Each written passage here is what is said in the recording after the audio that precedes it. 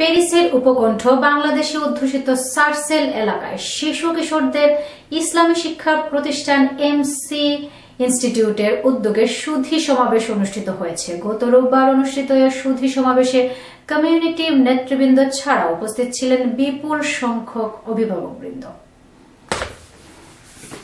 MC ইনস্টিটিউটের director সাংবাদিক আব্দুল আজিজ সেলিমের পরিচালনায় এমসি ইনস্টিটিউটের কোষাধ্যক্ষ লুৎফুর রহমানের সভাপতিত্বে অনুষ্ঠিত সুধী সমাবেশে শুভেচ্ছা বক্তব্য রাখেন এমসি ইনস্টিটিউটের প্রিন্সিপাল অধ্যাপক বদরুল ইসলাম বিন হারুন।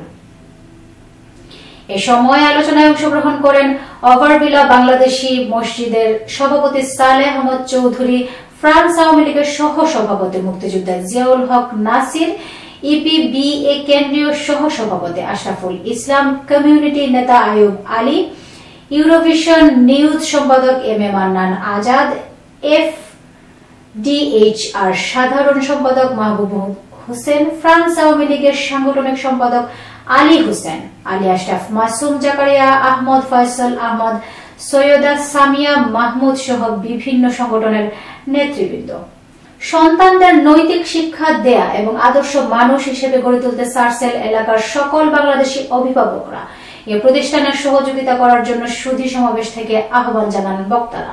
প্রতিষ্ঠানের সফলতা কামনা করে সমাবেশের সমাপ্তিতে মোনাজাত পরিচালনা করেন মাওলানা সুফাই আহমদ।